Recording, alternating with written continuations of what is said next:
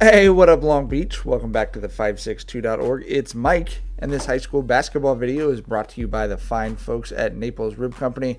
All of our Long Beach Poly coverage this year brought to you by Juju Smith Schuster and the Juju Foundation. Good luck in the Super Bowl on Sunday, and Jayon Brown and Playfair Sports Management. We are in the Ron Palmer Pavilion, Long Beach Poly hosting Alemany in a Division One playoff opener for both teams. Jackrabbits, that's my favorite borough right there. Brooklyn Taylor and the rest of the squad looking to open up the playoffs with a dub. And hey, is Brooklyn in this mother mother? she came out, the junior, always looking to make an impression. Love the roll to her left, drawing the foul as well, getting Poly on the board. But Alemany building a sizable lead. You see, they do have a, a advantage in the paint, and they would end up rolling out to a 22 to 10 lead in this game kind of rocking Poly back on their heels. This is a young Poly team, a lot of freshmen, sophomores, juniors in the mix for this team. And you kind of saw that inexperience early in this game. They weren't really sure what to do with themselves. So, call timeout. Poly coach Carl Buggs says, All right, let's dial it in. They've certainly been here before. And then Taylor with the block. Jasmine Schamberger active to grab the steal. It's always going to start with defense for Poly. That's exactly where they got it going. Then Taylor going to work in the paint, trying to get her team back into it. And then watch Nevaeh Lemons coming in off the bench, making a huge difference defensively. Knocks the ball loose, then draws the foul.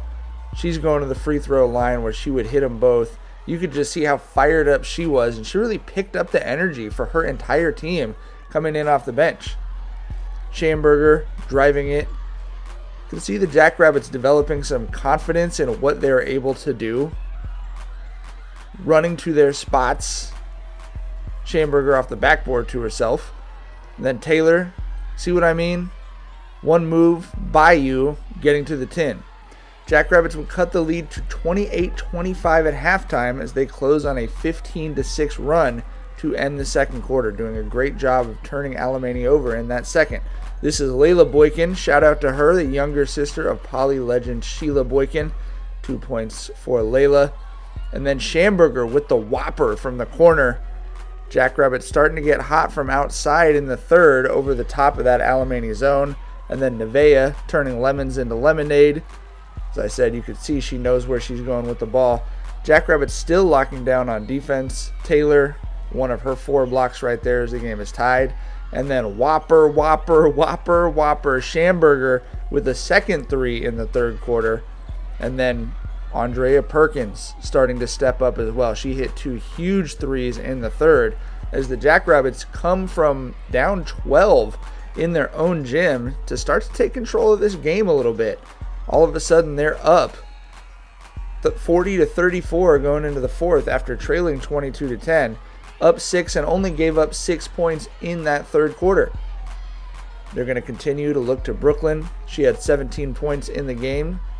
And then Jelena Talia Uli drawing the charge. That Poly defense really, really turned it on after a slow start to this game. But Alemany not going away, doing a good job of making their free throws.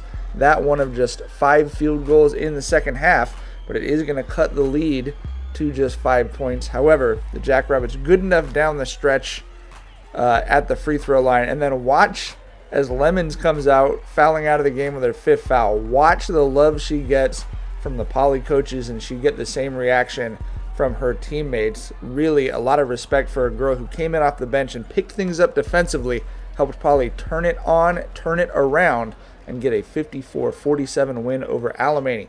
Jackrabbits will advance in the Division One playoffs and play at Esperanza on Saturday. Coverage that and everything else Long Beach sports, you got to keep it right